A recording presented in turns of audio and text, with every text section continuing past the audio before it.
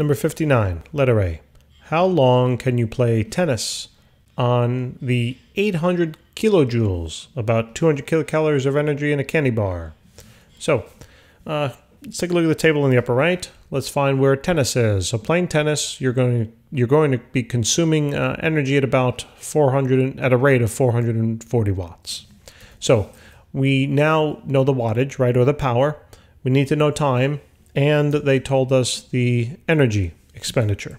So I'm thinking about using this particular formula on the right-hand side.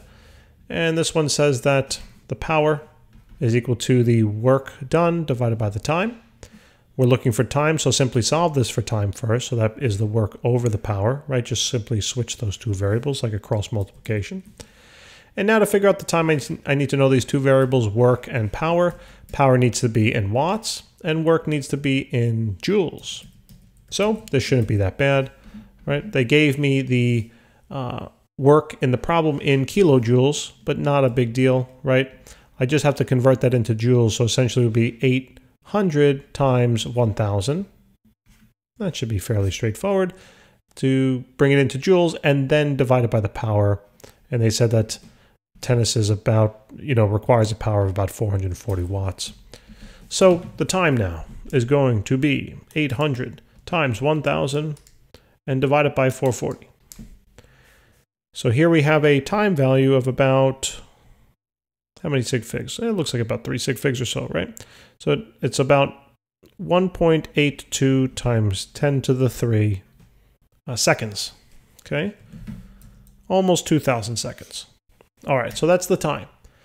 Does this seem like a long time? Well, I don't know. Second, I don't even know how many minutes or hours this is, right? So why don't we convert this to hours? Uh, because since they're playing tennis, right, we usually think in terms of most likely the match or you're playing for an hour, two hours, three hours, etc. Or could be like that longest match in history, right? That was over five hours. That was it was quite intense. Um, so here, if we take our answer in seconds, right, uh, put seconds on the bottom, hour on the top, Remember that there's 3,600 seconds in, in an hour. And therefore I can convert this right now to hours. So it's basically 1.82 times 10 to the third divided by 3,600. And this works out to about a half an hour, okay? 0.506 hours. All right, so, so does this feel like a long time?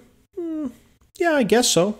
You know, it does. I mean, if you think about it, you know, you get to a, how long does it take you to enjoy a candy bar? A couple of minutes? Two minutes? I mean, for me, it's probably about 30 seconds because I scarf them down. But, you know, are those 30 seconds of pleasure really worth the half an hour that now I'm going to have to exercise? So it does seem kind of long, you know.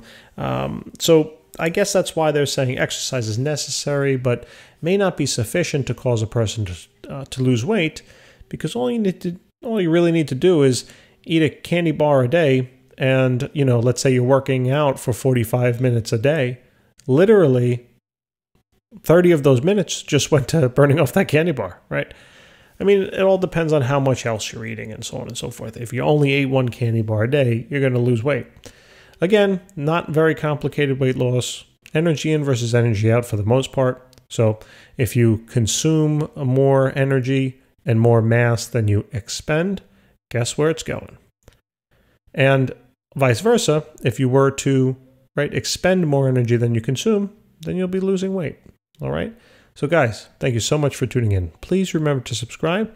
Definitely helps us out tremendously, and it also helps out other students just like yourself uh, that would have better access to, you know, these questions. All right. I appreciate it very much. Thank you.